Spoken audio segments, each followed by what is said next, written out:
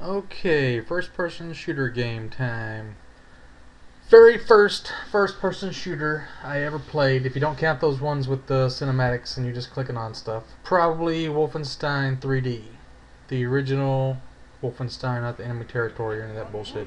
Used to play it on my IBM 386. I used to take it to school and install it at the school. And uh, you get to fight Hitler in the game. You get a chain gun. Now this is one of those games that you don't jump there's no stairs, I don't think. I don't think there are stairs. But it's just you move around in an XY environment, which is left, right, and, you know, horizontal and vertical. Length and width is all you have to work with. Just a, a straight plane. Let me just show you a picture that'll demonstrate the X, Y, and Z axes that I've got.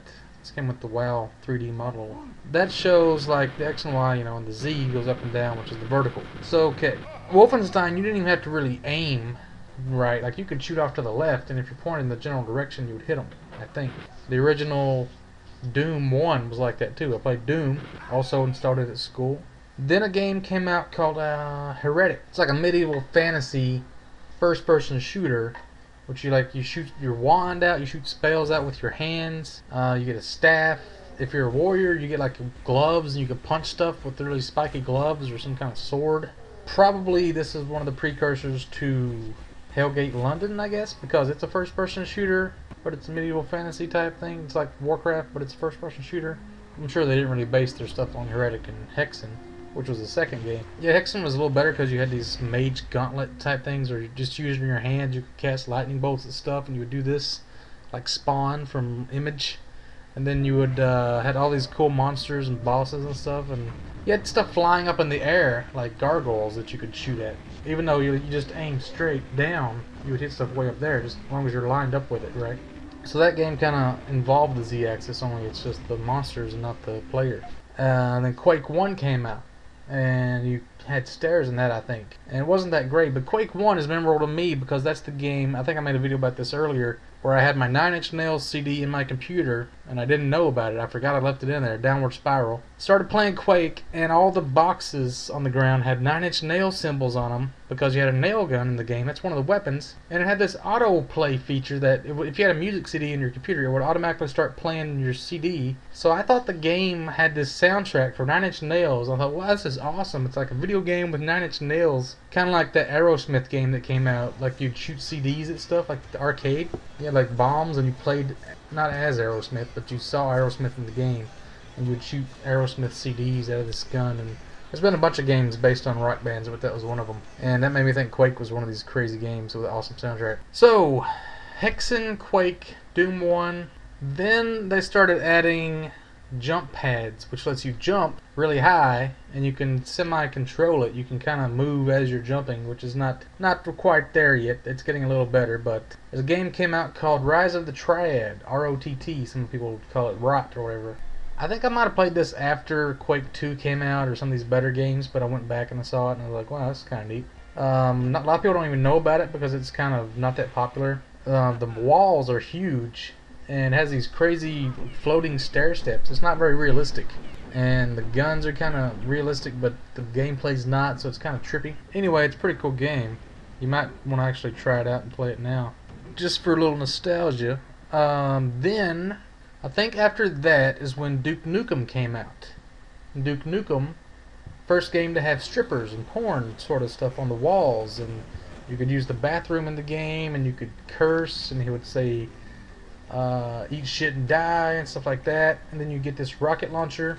Also had bombs flying around, these pigs and spaceships on the z-axis, and you could jump. Uh, there's actually a clip I found, which is funny, where I don't know if this is a mod, but you can kick your foot instead of punching your fist. And you can kick both of your feet at the same time while you're running, which doesn't even make sense. But Duke Nukem, it's a pretty fun game. You're fighting these aliens. It's a little bit different spin than what you normally would play.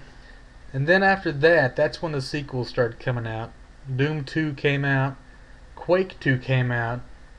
And that's really when it just started going crazy. FPS games started getting big. Quake 2, I have to say, was one of the best games for as old as it is, like at the time it came out. It was the first game, I think, to introduce the grappling hook. Well, I don't know if it came out in the normal game for it's a mod somebody made, but there was actually teamwork being done. Capture the flag. People were working together and using their grappling hook in all these crazy ways. You would hang from the ceiling, shoot your chain gun down at people while you're hanging there. I love to do that. Uh, I played this mod that I don't think many people played because everybody was playing Lithium or something. There's this mod called Lasermine CTF, which is capture the flag, but they turned all the lights out in the whole place, and you can make these little tripwires out of lasers, and if you run across them, it blows you up. So you got to be, really be careful going around corners. Make sure you're crawling underneath lasers, or crouching underneath them, or jumping over them. And uh, you also had the grappling hook in that too. So plus it was um, more 3D. I don't think it had the jump pads, but you could jump. Plus you had the grappling hook, so the grappling hook kind of made up for the um, jump pads. So it's kind of one of the first games where you could really control the Z-axis, but you couldn't really control it. You just had a grappling hook and it you went where it went. So like you could go in any direction, but you couldn't control the distance or the speed. Okay, then you also had Unreal came out, but I didn't really play Unreal that much, uh, so I don't want to really talk about it without knowing. But I did play a little bit, and Unreal after Unreal 2 came out, it started everything started using the Unreal Engine and it all started looking the same. FPS games sort of devolved and became worse. Like Quake 3 came out and they had jump pads, but I don't think they had the grappling hook until maybe somebody modded it later on. But still, you don't see a lot of people playing Quake 3 with grappling hooks. And if there's anything I know from Quake 2 is that grappling hooks equals success. Fun and grappling hooks are basically one and the same. So you had Quake 3, Doom 2 or 3, Unreal 2 Tournament, all these FPS games, they still just had the X and the Y on stairs and jump pads, and that's really all you had with the Z. Not a lot of control.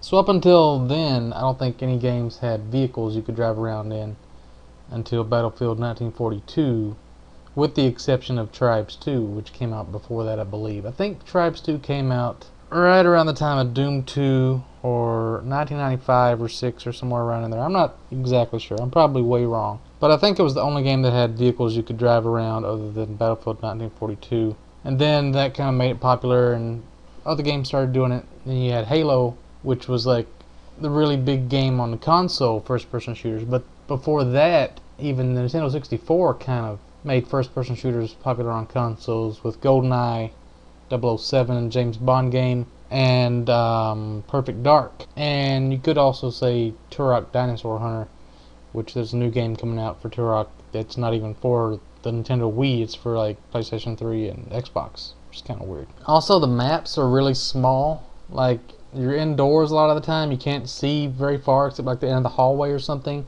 And it's basically built for death matches, and it's not really that good for capture the flag. There's no open areas. I mean, some of them like there's a map from Quake 3 that everybody knows. It's pretty popular. It's like outdoor, and you fall from space if you fall off the edge. But uh, you can see to the end of the map. That's as far as you can see. So when Tribes 2 came out, it was a whole new ballgame. The only problem was that the marketing for Tribes 2 was so abysmally bad, nobody knew it existed.